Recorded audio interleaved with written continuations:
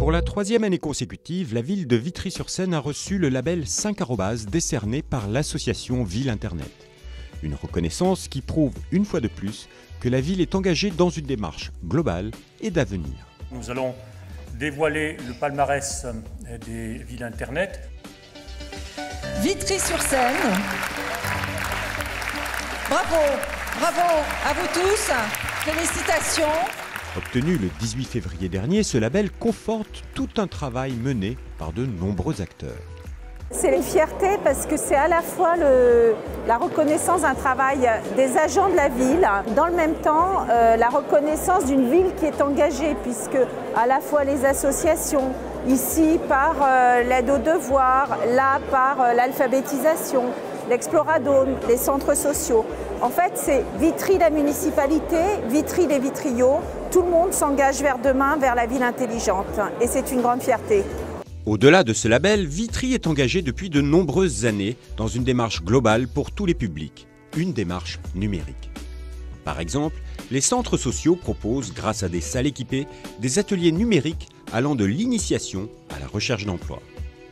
J'ai appris comment ça marche l'Internet, aller là-dedans pour faire mes recherches d'emploi. Pour les adultes, je trouve que c'est très intéressant parce qu'aujourd'hui, tous ils marchent avec l'Internet, euh, prendre un rendez-vous, euh, plein de choses, envoyer des CV, lettres de motivation. Il faut absolument que ça marche pour qu'on progresse, qu'on puisse euh, servir d'Internet. Pour corriger, là, s'il y avait des fautes d'orthographe, ça serait souligné en rouge automatiquement. Avec ces ateliers mis en place depuis les années 2000, la ville mène une bataille contre la fracture numérique et l'exclusion. Et cela passe par des actions spécifiques pour certains publics pouvant être en difficulté face aux nouvelles technologies. Cette initiation de la technologie va permettre au public retraité de pouvoir appréhender aujourd'hui les exigences sociales par rapport au numérique. Le but est de leur redonner confiance et de faire en sorte qu'ils soient moins isolés, parce qu'il y a une vraie question d'isolement. Je veux dire, la fracture numérique, c'est une réalité. Maintenant, de plus en plus, euh, on est obligé de se mettre sur Internet, car euh, même quand on veut demander des renseignements dans, dans, des choses officielles ou quoi que ce soit, ils nous disent toujours, ben, regardez sur Internet. Cet atelier est pratique parce que déjà on nous explique correctement, euh, sans s'énerver, euh, comment se servir d'un ordinateur. Ce qui nous permet de rester toujours en, en lien avec euh, la vie qui nous entoure. L'offre numérique s'adresse également aux jeunes comme aux EMA, où des ateliers allant de la vidéo au montage photo sont proposés sur des matériels très performants. On va faire un tableau vivant, je vais vous montrer. Vous allez prendre les positions de ce tableau sur l'estrade là-bas. Ok On va poser la caméra. Et progressivement, tout doucement, vous allez bouger. C'est bien qu'on ait autant d'outils numériques euh, à notre disposition, comme euh, les Mac, les appareils photo, les, les caméras. On a tout ce qu'il faut à notre disposition. Et je pense que c'est bien parce qu'on apprend en même temps à les utiliser. Cet atelier de photomontage, bah, c'est bien pour euh, notre génération. Ça nous apprend à faire beaucoup de choses. Pour, euh, par exemple, si on voudrait faire ce métier plus tard, et ben, on a déjà des ficelles. Le numérique pour préparer l'avenir, mais également pour vivre le présent. Tout au long de l'année, de nombreuses initiatives numériques rythment la vie du territoire. Festival du court-métrage pour la vidéo auquel participent de jeunes vitriaux, l'Exploradome qui propose tout au long de l'année des expositions et des animations, mais également pour les entreprises et la recherche avec des salons et des rencontres autour du digital.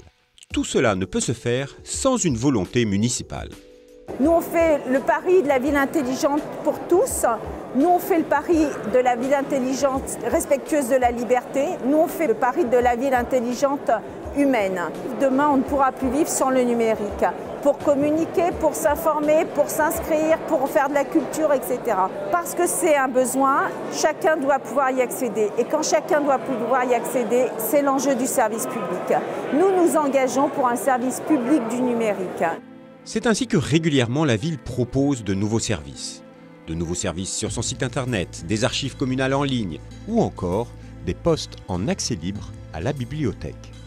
C'est bien pour toute une partie des enfants. Je suis enseignante et c'est vrai que quand on donne des recherches aux enfants et qui n'ont pas accès au numérique à la maison, ça me paraît une bonne idée qu'ils puissent trouver un lieu pour faire ses recherches sur Internet. Bah, c'est toujours intéressant d'être au top au niveau numérique, ça c'est certain.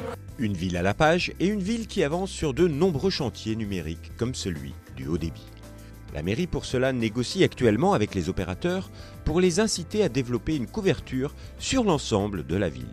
La ville elle est engagée sur le déploiement de la fibre. En ce moment, on est en train de consulter les opérateurs et on est en train de faire de façon que euh, tout le territoire soit couvert, qu'il y ait une équité et qu'il y ait un accès pour tout le monde et qu'il n'y ait pas que les zones denses. Des projets pour tous, des réussites, des projets d'avenir, des projets en cours, oui. Vitry est une ville moderne, une ville intelligente, une ville numérique.